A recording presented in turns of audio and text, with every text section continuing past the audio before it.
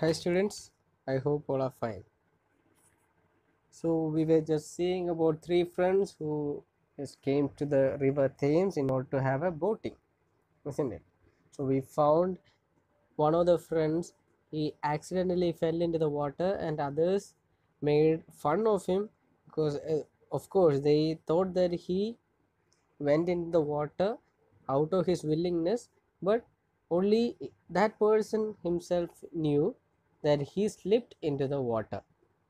And he tried to persuade them but other two friends could not uh, could not uh, could not or would not listen to him. So they did not come inside the water. And after that somehow this particular friend that is jerome he got into the boat.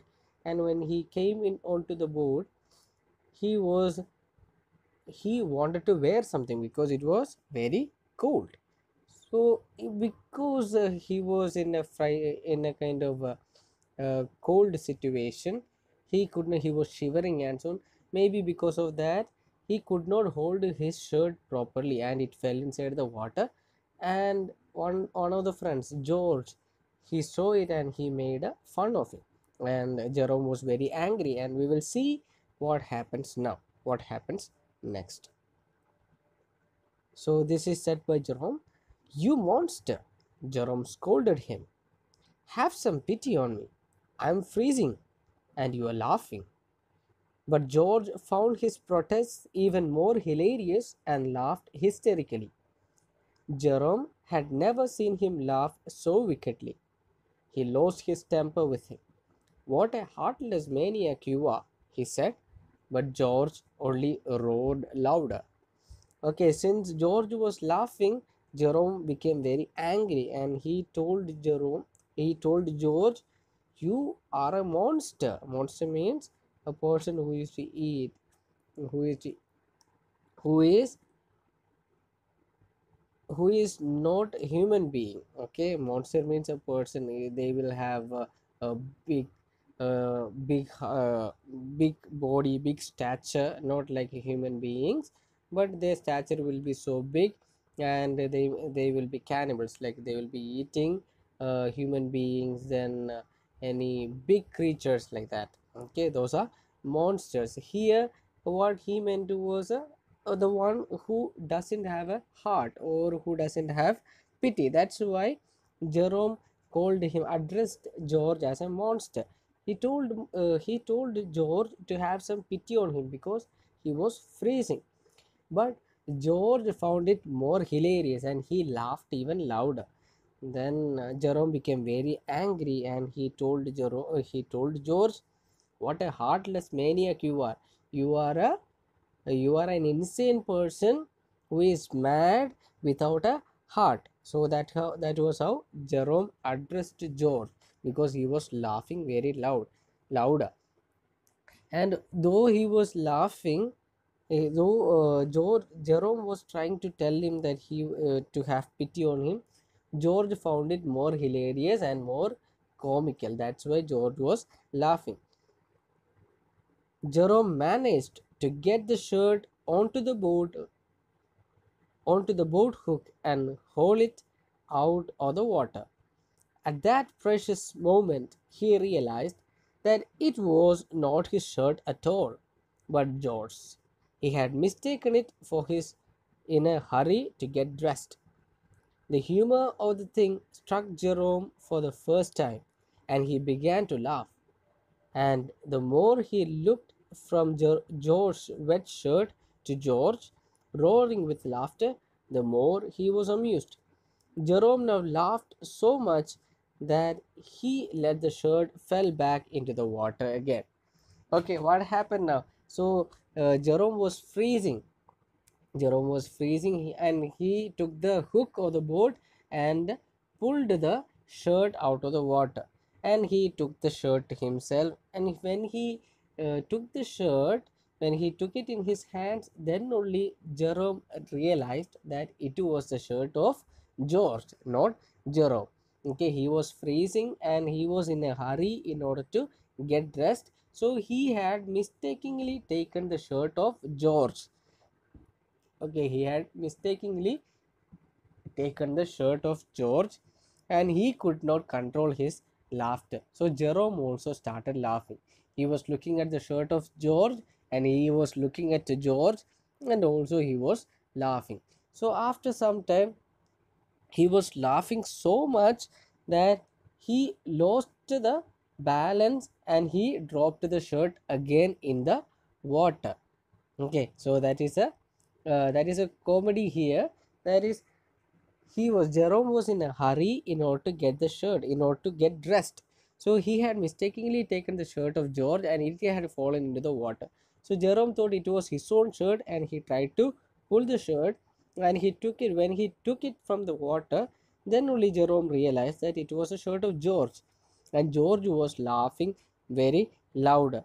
So at that time only jerome realized the the the comedy in it and he also started laughing. He was looking at the shirt of george he was looking at george and he was laughing very loud. So while laughing jerome lost balance and he dropped the shirt again in the water. Then let us see what happens. Aren't you going to get it out? said george between his shrieks jerome couldn't answer for a while he was laughing so much, but at last, between his peals of laughter, he managed to jerk out, It isn't my shirt, it's yours. Jerome never saw a face change from lively to severe so suddenly in all his life. What? he yelled, springing up. You silly cuckoo, my most expensive shirt. Why can't you be more careful of what you are doing? Why don't you go and dress on the bank? You are not fit to be in a boat. Give me that boat hook. Okay, now what happened? Jerome, George also did not realize that it was his shirt. Okay, George was making fun of Jerome, and the shirt went back again in the water. And George asked Jerome, Why are you not taking it out?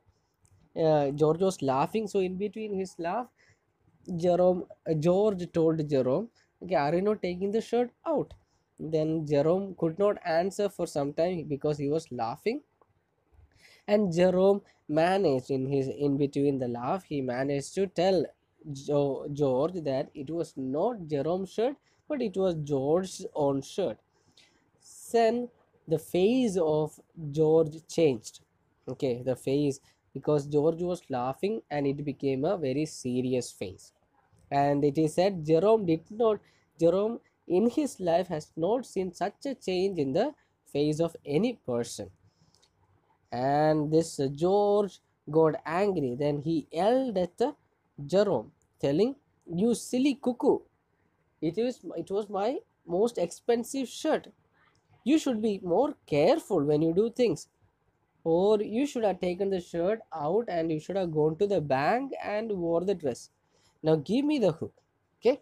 So George was very angry and he was uh, scolding Jerome and now he asked Jerome to give the hook, boat hook with, with which he can take the shirt. Then Jerome tried to make him see the fun of the thing, but he could not. George was very dense at seeing a joke sometimes, or perhaps he didn't care much about doing to others as he wanted them to do to him. Harry found that really amusing. It seemed George had not understood the principle do to others as you would have others do to you. Okay, so Jerome gave the uh, gave the hook, and Jerome tried to convince George the fun in it, but George could not see the fun in it, but he was very angry, and he uh, it is said George did not know the principle of uh, do to others what you would have them do to you. Okay this is a golden principle that we see in every religion. Okay do to others what you what you want others to do to you. Okay or means to say do to others as you would have others do to you. Okay like uh, okay for example you are doing something you are expecting from others something. And you what you can do if you expect something from others you also will have to behave in such a manner. If you are expecting good act from others you have to be good towards towards others. So Harry found everything very amusing because he was not in the picture. He was just looking at it from outside the picture because what were who were in, who were uh, involved are Jerome and George. First, George was laughing. First, George was laughing very loud, and after that, he realized. After that, he realized that it was his own shirt. So George got angry. George got angry. So now what happened? But Jerome uh, made uh, Jerome wanted to convince him the fun in it, but George could not see it through. Okay, so and it is that George did not know the principle, or he had not understood the principle. Do to others as you would have others do to you. If he were not to laugh when Jerome had put the shirt in the water, Jerome also would not have laughed when he had taken the shirt out of the water. But George was laughing and George did not have pity on him and Jerome and George expected Jerome to have pity on him. So that's why it is said the principle that do to others what you would have others do to you. Or do to others what you expect others to do to you you also should do like that to them.